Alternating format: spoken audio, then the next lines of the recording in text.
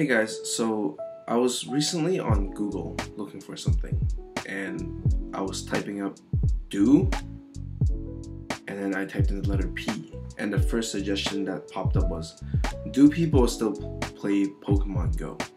oh yeah, I forgot that game still exists. So I carried on with the search just to see if people actually still play the game or not. I clicked into a few articles and Globe and Mail actually did a Facebook poll on whether people still played the game.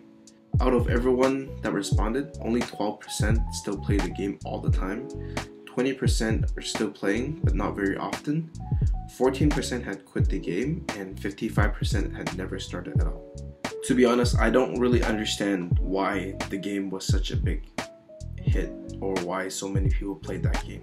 I personally never played that game myself, but I know a lot of people that played the game. And to my surprise, this group of people that I know also includes the older generation, the generation of our parents or even our grandparents. And they were the people that watched us grow up while enjoying Pokemon. But I remember clearly back then as a kid, my dad telling me how stupid he thought Pokemon was.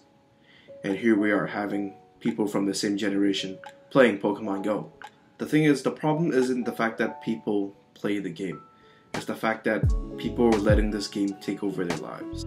The amount of times I've seen people walk as a huge group on the street holding their phones like this and walking down was ridiculous.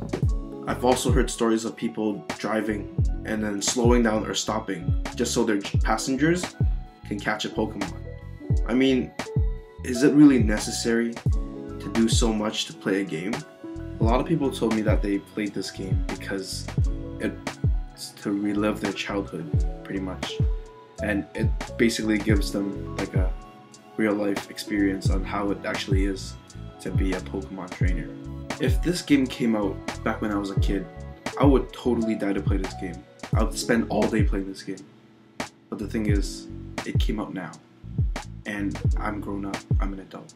How I see it is that you can relive your childhood memories by, I don't know, watching like an episode of Pokemon. But to let a game like this take over your life, it just doesn't really make sense to me. Okay, I'm done, bye! Oh!